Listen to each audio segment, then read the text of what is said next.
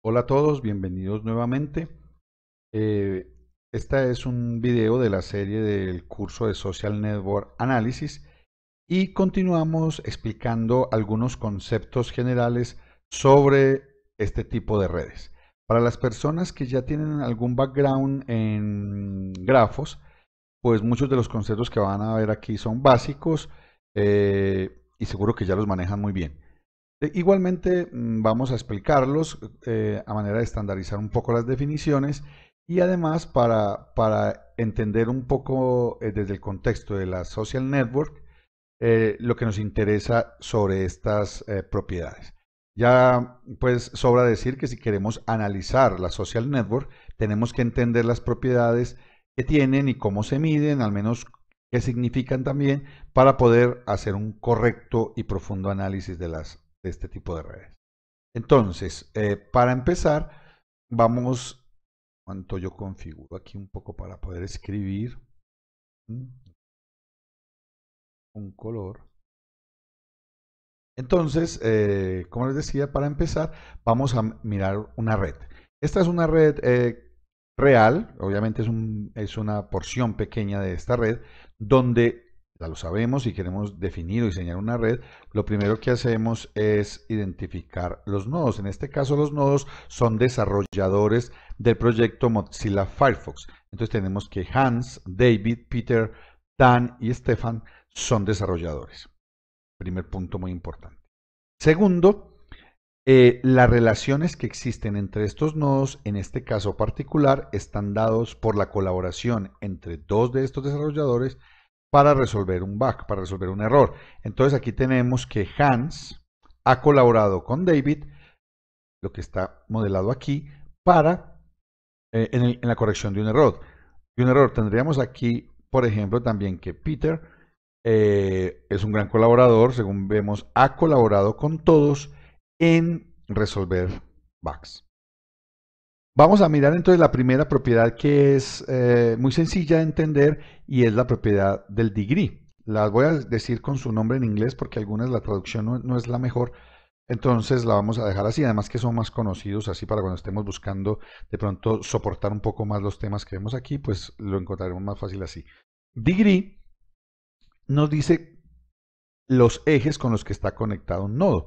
Entonces, por ejemplo, en este caso,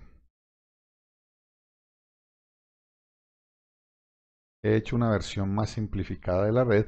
En este caso, por ejemplo, tenemos a Hans, que tenemos este y este nodo.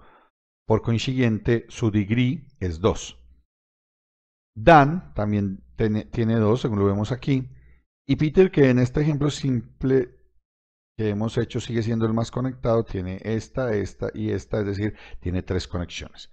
Aquí ya tenemos el degree de cada uno de los nodos identificado. Aquí hay que hacer eh, hincapié en un, en un, detalle. Estamos hablando de grafos no dirigidos.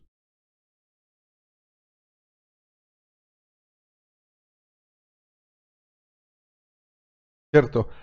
En este caso es muy sencillo porque es contar los ejes que tienen influencia sobre un nodo.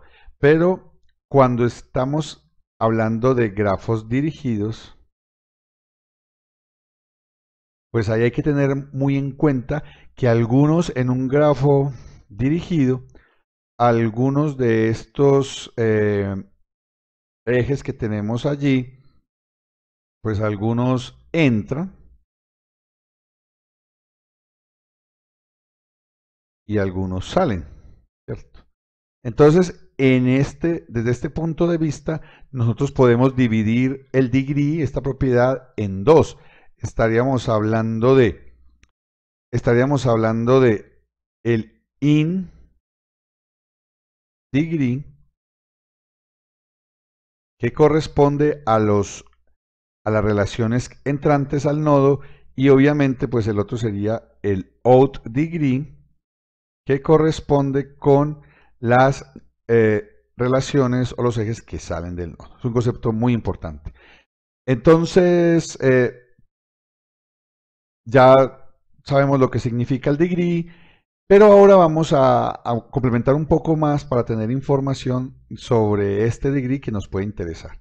y es la distribución. Ya sabemos que desde el punto de vista estadístico, pues tenemos una distribución de valores en un conjunto de elementos, desde un punto de vista muy general. Entonces, aquí vamos a poner el degree. Entonces, nosotros podemos ver que máximo tenemos un degree de 3. Entonces, aquí vamos a poner 1, 2 y 3. Y aquí el número de nodos. Y aquí, para que nos quede explícito, el degree. Y aquí el número de nodos donde se está distribuyendo ese degree. En nuestro caso tenemos 5 nodos. 1, 2, 3, 4 y 5.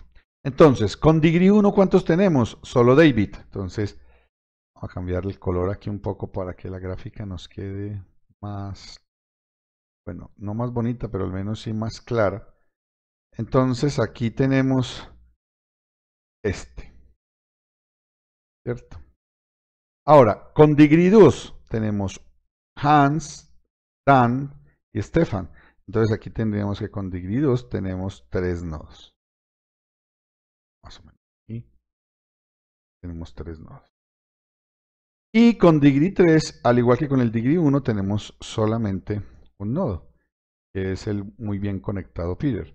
Entonces, mm, este este, en analizar luego esta distribución lo veremos después, pero por ahora, repito, nuevamente eso es redundante, es para entender estos conceptos generales que queremos que, ustedes tengan sobre los nodos.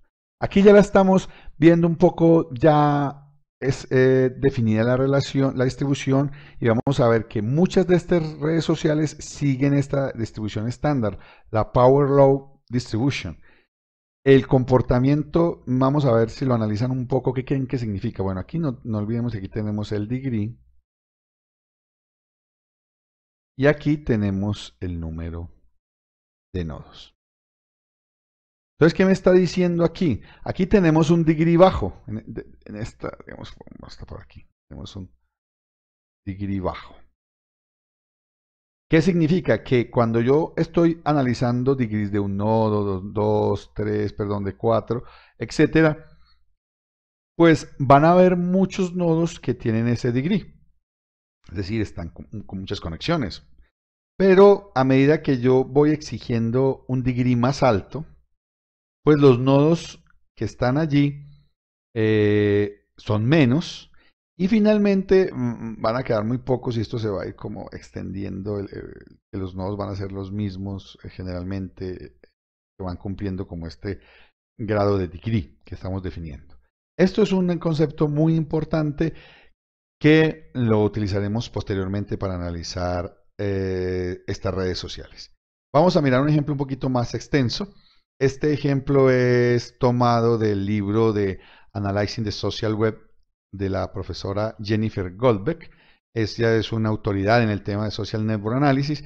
Eh, muchos de los ejemplos que yo saco aquí, nuestro libro guía, ya lo saben que es el libro de ella, mm, están en la web. Eh, yo algunos de los videos que hago están muy relacionados con los videos que ella tiene. Simplemente es para facilidad de algunos. Eh, lo estoy haciendo, a veces aumento algunos contenidos, algunos ejemplos, los ejercicios que hacemos en clase también pueden ser diferentes, pero al menos ella ha mm, hecho quizás el único libro que yo conozco completo sobre este tema y por eso eh, aquí básicamente algunas cosas son muy similares a las de ella y mm, solamente que están en español, pero igual si alguno de ustedes conoce... Mm, eh, o sea, maneja bien el, listening en inglés, pues pueden ir directamente donde ella, eh, yo les daré el link para que puedan ver los videos que ya tienen en inglés. Y algunos, como les digo, de los temas que corresponden al mismo que estamos viendo son similares. Entonces, aquí mm, estamos viendo un ejemplo más complejo. Hombre, tiene más, más nodos, tiene más relaciones y vamos a mirar un poco más a profundidad la distribución del degree. primero lo que hacemos es que por cada uno de los nodos hallamos el degree. Entonces, por aquí donde está la A, mire, tenemos aquí el A, tiene 3. B me dice que tiene 4, no, 4 de degree, ejes. Y así sucesivamente. Entonces, lo primero que uno hace para calcular la distribución o para obtener la distribución del, eh, del degree en, una, en un grafo es contar o calcular más bien el degree de cada uno de los nodos. primera parte. Luego, lo que hacemos es mirar cuántos nodos eh, tienen un valor de degree específico. Entonces, por ejemplo, aquí tenemos que el 1 tiene 4, que el 2 tiene 3 y así sucesivamente. El 3 tiene 3, para que finalmente en cualquier hojita electrónica por allí calculemos la distribución del degree. Interesante tema, muy sencillo de hacer, muy mecánico como decimos nosotros aquí. Entonces es fácil de, calcular para que lo tengan en cuenta. ¿Cómo se calcula la distribución del degree? Primera propiedad que nos interesa hasta ahora, el degree. Ya lo sabemos qué es, que nos quede ahí en el disco duro.